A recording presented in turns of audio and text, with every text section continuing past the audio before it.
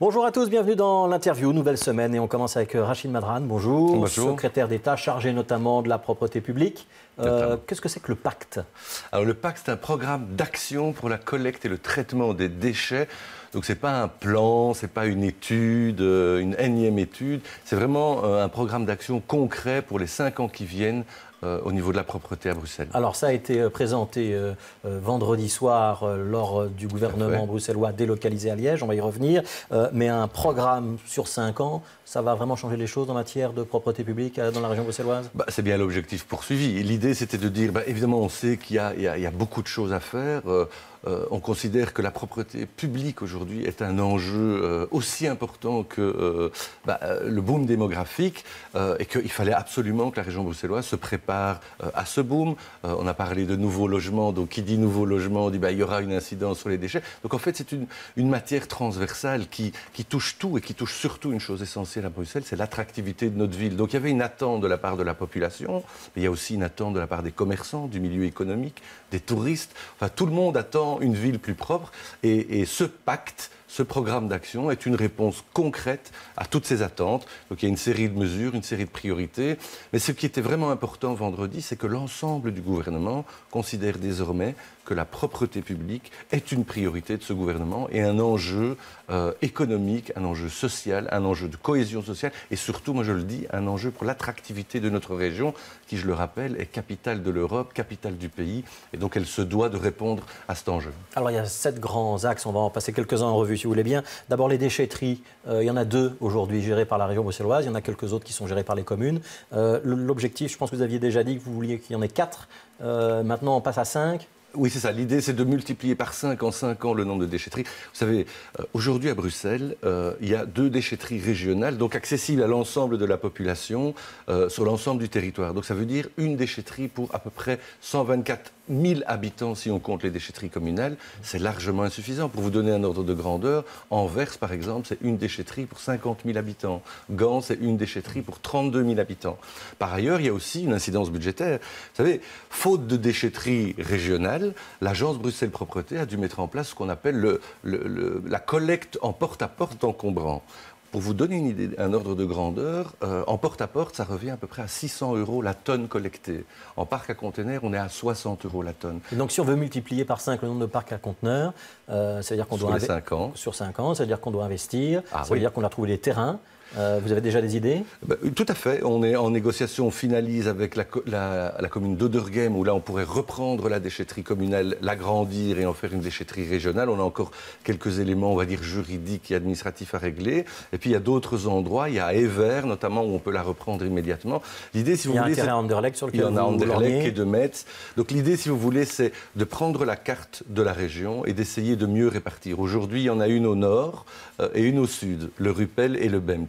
L'idée, c'est de couvrir l'entièreté du territoire pour que tous les Bruxellois trouvent à moins de 3 km un parc à conteneurs où ils pourront euh, déposer leurs encombrants. Alors, les sacs poubelles, euh, est-ce qu'on garde les sacs poubelles en ville ou est-ce qu'on les remplace par euh, des grandes poubelles en dur, des petits containers?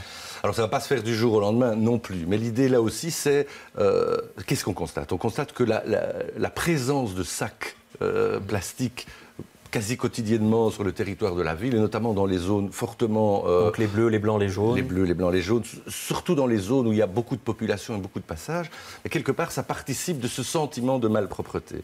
Donc l'idée, dans un premier temps, c'est de favoriser au maximum l'usage du conteneur dans les zones commerçantes, là où c'est nécessaire. Donc ça doit se faire avec les communes. C'est-à-dire s'il y a des zones euh, de commerce où on souhaite du conteneur plutôt que du sac, on mettra à disposition du, du conteneur. Et qui payera le conteneur?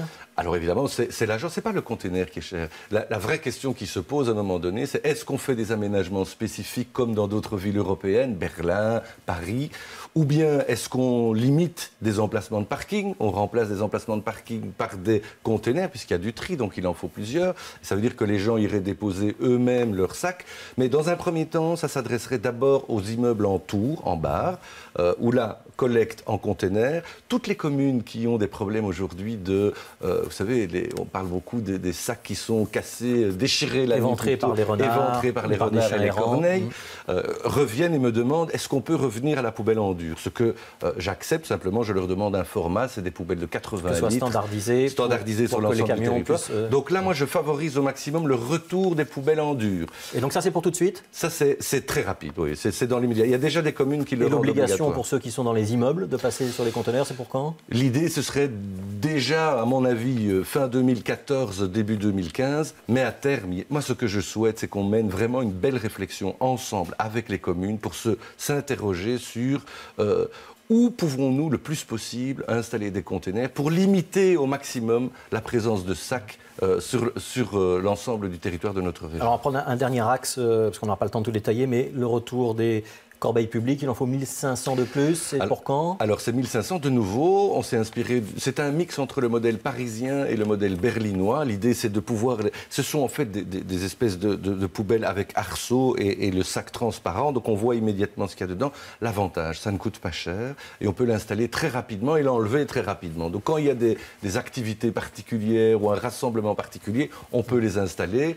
Donc il en faut au minimum 1500, mais il faut aller crescendo évidemment. Moi je veux qu'on puisse en avoir partout, un peu comme le système français. L'avantage, c'est la flexibilité et le coût. Alors c'est un programme sur 5 ans. Est-ce que c'est pas un peu bizarre de présenter un programme pour 5 ans alors qu'il y a des élections l'année prochaine et que rien ne dit que vous serez encore secrétaire d'État à la propriété publique dans un an Écoutez, si je ne le fais pas, on va me dire il ne fait rien. Moi, je suis arrivé le 7 décembre et j'ai bien la volonté de répondre aux questions. Moi, j'agis. Je suis un homme pragmatique, j'ai des solutions. Et si d'aventure euh, je n'étais plus là et que l'électeur décide que ce doit être un autre, eh bien le successeur aura un plan d'action à suivre. Qui pourra prendre ou déchirer et mettre à la poubelle. Je lui conseille de le suivre parce que c'est des réponses que je lui donne et que, que je donne à la population. C'est vraiment des réponses à des questions concrètes.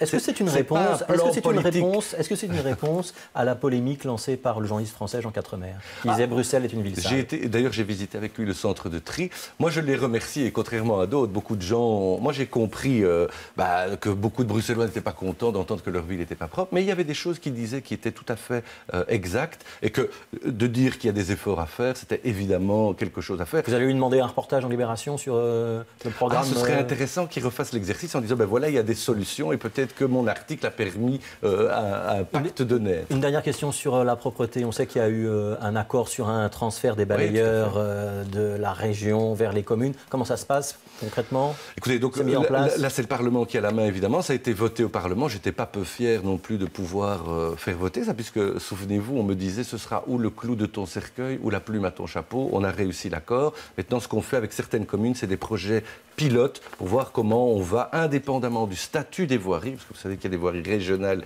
et communales, comment on va pouvoir gérer les espaces communs avec les, deux équipes? Alors tout ça, ça s'est passé, décidé à Liège, hein, le, programme euh, propreté. Il y a plein d'autres choses qui ont été décidées. Ben, justement, hein. le logement. Est-ce que c'est pas un peu bizarre que le gouvernement bruxellois annonce 6 euh, 000 logements par an, alors que 80% de ces logements, quand on lit le détail, vont devoir être financés par le privé?